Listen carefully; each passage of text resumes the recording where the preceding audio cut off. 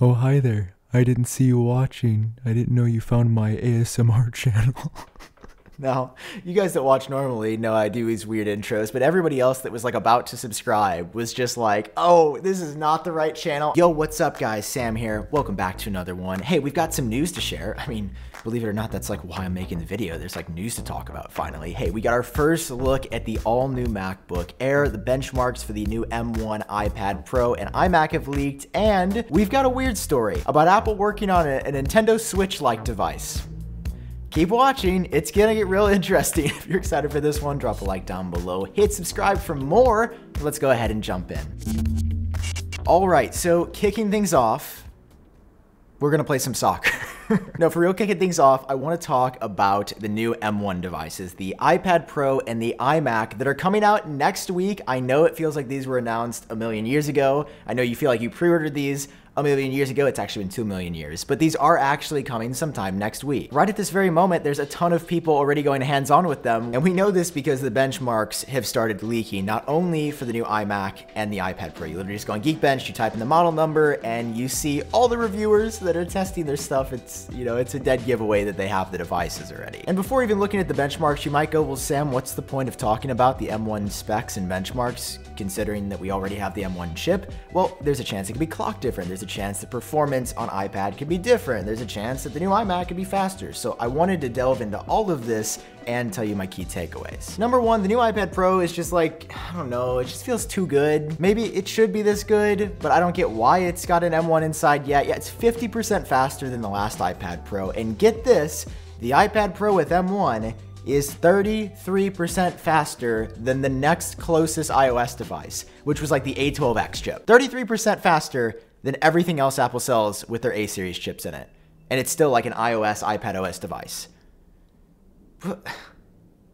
I'm just confused still, okay? I don't get it. And moving on to the iMac, I was hoping, praying, sacrificing a couple of small animals to see if we could get better performance on the new iMac. And it's it's consistent, you know, it's not any better or worse. Like, shocker, the M1 chip is clocked almost identical in every single device that Apple has put it in so far. There was a part of me that's like, maybe there's something that'll make the performance on the iMac better than everything else we've seen, just because this is like I don't know, six ish months newer than the other M1 devices, but nope, same performance, same expectation, really good scores. It, it's also more powerful than like the, you know, the high spec MacBook Pro, and it's even got a higher single core score because it's M1 than the Mac Pro. So it's really good. It's really good. I'm really excited for these devices. Like these specs just confirm that like it is M1, it is no better, it is no worse.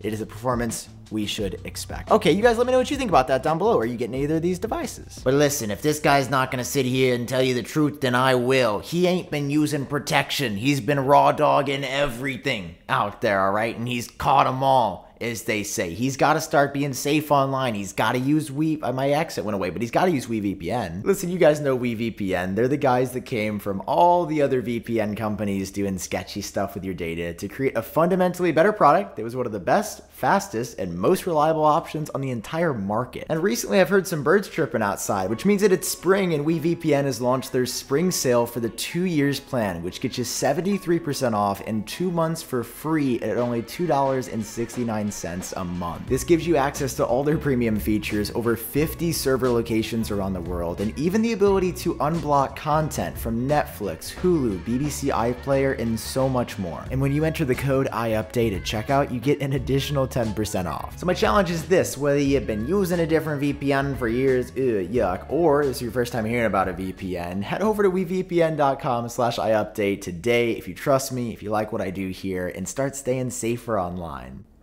and I had to like rehydrate before this next story because uh, it's also confusing. And I bet you guys got your cellular nucleosis going on already trying to figure out the M1 and the iPad Pro. How about an Apple gaming device and specifically a competitor to the Nintendo Switch. Just want to say before we jump into this that I don't think it's happening. I think this rumor is complete BS, and I don't even think you should listen to this part of the video because I don't think it's going to happen. We're probably just going to be like let down or disappointed. However, there is a sketchy rumor that popped up on a South Korean forum site when someone was asking, like, do you think Apple would ever make a Nintendo Switch device? And someone very factually, a random commenter, and basically just leaked this device, um, saying that it's going to be a portable mobile gaming device. Um, And then they also give some information about like the specs. The source said that rather than Apple using an A or M series chip, so not what's in Macs and not what's in iPhones or iPads, Apple would use a different series of chip, like something entirely new with brand new GPU capabilities, accelerated GPU capabilities, and even support things like ray tracing. Ray tracing just means that the reflections, like while you're playing a game, would look really nice. It's like a new-ish technology. It came out on the PS5 and Xbox. It's been on PCs for years. The reason this gets me excited is that Apple could actually be developing a chip with a better GPU, which would allow the Mac to game finally. And I don't know if that's what this is, but there's just like the part of me that was telling you don't believe any of this. There's the other part of me that's hoping that we finally see some kind of Apple device that is just made for gaming because they've never done it. They also say that Apple is working with like Ubisoft to make games, which uh, some other credible source has actually said that, but nobody credible has mentioned any of these other details that a mobile specific style gaming device. It just doesn't sound like Apple. Like Apple has the iPhone and they're gonna basically make a bigger iPhone with controllers built in. I think that's great for Nintendo. I don't think it's great for Apple. But I am intrigued by the idea that Apple could be working on chips for products that have better graphics processing. I mean, that's always where the Mac has struggled. If Apple could just get ahead there, like they've killed the entire PC market with the M1. No one should buy anything but an M1 chip, in my opinion. But if you're into gaming, you can't just buy an M1 chip. You can't just get a Mac and game. I mean, most games aren't supported on Mac. I can play like League of Legends. I, I, I, can play like League of Legends on my computer. That's like all I can play. And while I love that game dearly, and I think about every day, man, there would actually be zero games I could play on Mac if this wasn't here. I would love to see Apple work on it. So Apple Switch rumor, I don't think it's happening. Apple GPU better ray tracing processor rumor, I think that's way more realistic than anything else. But by far the most exciting thing I saw in the past week was that we got our first look at the new 2021 MacBook Air. Now I say 2021, there's a chance it could come next year, but right now, Sources that are credible seem to agree it could launch as soon as the fall of this year. And this MacBook Air, unlike the last MacBook Air with M1, is not just going to be the same thing with an M1 chip inside. It's going to be redesigned, rebuilt from the ground up, and uh, you know, Mark Gurman, when, who's 90% accurate, said like it's going to be even thinner and lighter. And I mean, if you look at the MacBook Air right now, if you're like me, you might say, how do you make this thinner and lighter? Like, how do you make the MacBook Air thinner and lighter, like it's already paper thin. Well, you could just make it thinner and lighter, apparently. Because that's what Apple's doing. And I've actually seen the images of the new MacBook Air. I can't show you the raw images, uh, and neither can Jon Prosser, the source of this, because, you know, people, you could see too much information, but they have made renders based off of these images, and they're spot on. So this is a radical new design for the MacBook Air, and it looks kind of like two iPads just put together. So it's got the new design language that Apple's putting on pretty much everything. You've got the sharper edges here and the design is no longer tapered. So it is completely flat. Like that's what made me say it looks like two iPads. It doesn't go down a little bit like the MacBook Air, it's just straight. So it'd be a pretty different look for the MacBook Air, more similar to something like the MacBook Pro. But before even looking at like the way the edges work, you've probably noticed like, hey, this is a little colorful for something that normally comes in like gold, silver, and space gray, that's because Apple is taking the iMac design language and bringing it to the MacBook Air, including, based on the leak, the next MacBook Air will have white bezels just like the iMac, and I know